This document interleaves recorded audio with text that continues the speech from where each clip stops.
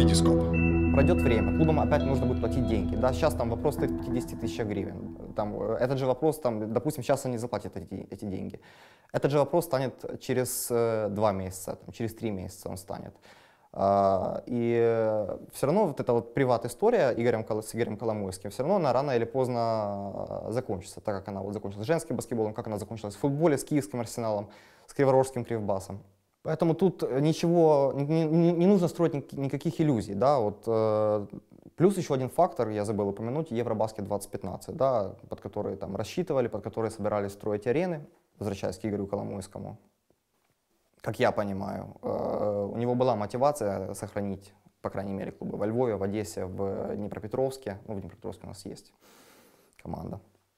Это те клубы, которые должны были бы стать хозяевами в его аренах которые бы регулярно стали бы, э, стали бы полноценными участниками и создавали там тоже там, определенный элемент шоу какого-то, да, которое делалось бы на этих аренах.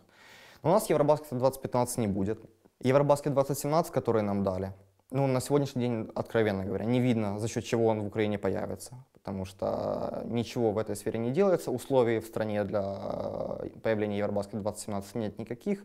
Даже аркомитет, 2015, который, ну, который занимался, да, он по большому счету, его уже нет. Маркиан Лубкивский ушел на работу в СБУ.